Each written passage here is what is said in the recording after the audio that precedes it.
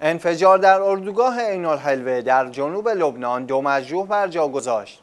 خبرگزاری ها با اشاره به اینکه روز شنبه صدای انفجار دو بمب در بازار طلبار اردوگاه عین الحلوه واقع در جنوب لبنان شنیده شد اعلام کرد در اثر این انفجارها دو نفر مجروح شدند. گفتنی اردوگاه عین الحلوه در شهر سیدا واقع در جنوب لبنان قرار دارد که چند هفته قبل به دلیل اعتراض فلسطینی های ساکن آن به قانون جدید کار در لبنان صحنه ناآرامی بود.